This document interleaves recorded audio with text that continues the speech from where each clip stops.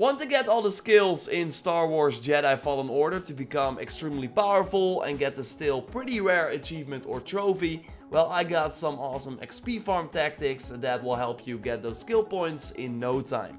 So let's get into it. Would be awesome if you could leave a like on the video as it shows your support and let's go. Before we take a look at my favorite XP farm tactic on Dathomir, I first want to give a quick shout out to one Swedish gamer for reaching out to me on Twitter at JorRaptor with this XP farm tactic that he found. So it's over here on the map in Kashyyyk and I've said before how you can get here like in previous videos but a quick reminder, a quick rundown is that you want to get to this familiar location by using the shuttle from your ship, then the elevator in the outdoor area. From the elevator, we want to go to the right. And then you get to this area again. We want to slow this thing to get across. And then we want to use this elevator kill the minigun a trooper by just pushing him away. The purge trooper is there too. And then just follow this path through the jungle that in the end will lead you to this meditate point. And this is somewhere where you will get to eventually by playing through the story. But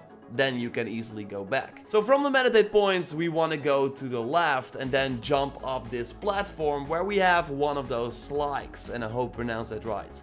Thanks to the jump, you can easily take this creature out with an air attack. And if you unlock the skill that increases your lightsaber damage, then this will be enough to instantly take out the target. Otherwise, you have to still do some slices to take it out. And you can actually kill it like instantly on every difficulty because the health of the enemies is not different per difficulty in this game.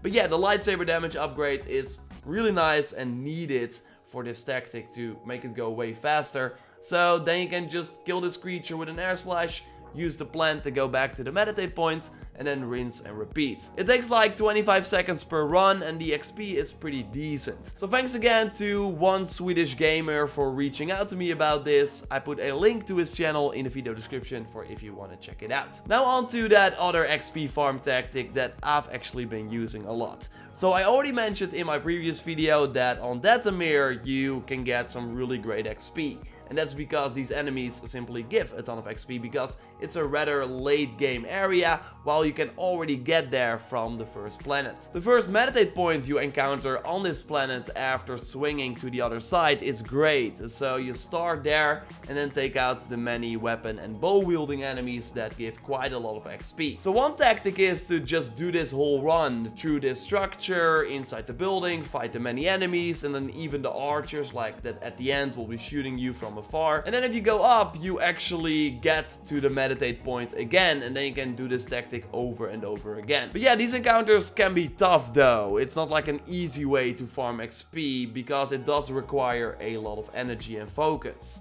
Also later on in the game, when you return to Dathomir for the story, these enemies will actually disappear.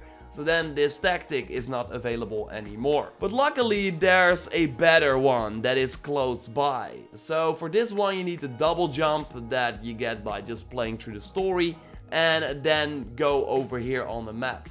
It's actually at the meditate point that you reach by sliding close to the point where you met the Wanderer. So you jump to the other platforms, but instead of going straight and climbing up, you want to fall down and then slide down to reach this spot. Now we want to kill these bugs very easily by using your force push, maybe once or twice, and then just use this elevator that you also unlock by just playing through this area for the main story. Now we want to go to the right because there you will find three enemies who are just chilling there and what you want to do is just push them off the platform so they instantly die. This will give you a ton of XP. And then just immediately go back to the elevator and to the meditate point to rest and let all the enemies respawn. You need the Howling Push ability though for this one to be able to push all the enemies away with just one attack. Because your regular force push won't be able to do that. But yeah, totally unlock this one and you can easily do it by just farming some enemies. And then just repeat this tactic over and over again. Push the bugs, take the elevator, push the enemies off the cliff again. And sometimes you might miss, like then one enemy will just stay on the platform. You can just finish the job then with your lightsaber or try and push so that the enemy in the end falls. And I got the Power of Friendship skill too, that makes it so that I get my force back after using a stim. So then I can just spam my force abilities to have them all die very easily. And then you will get the skill points, all the skills and the trophy and achievements in no time.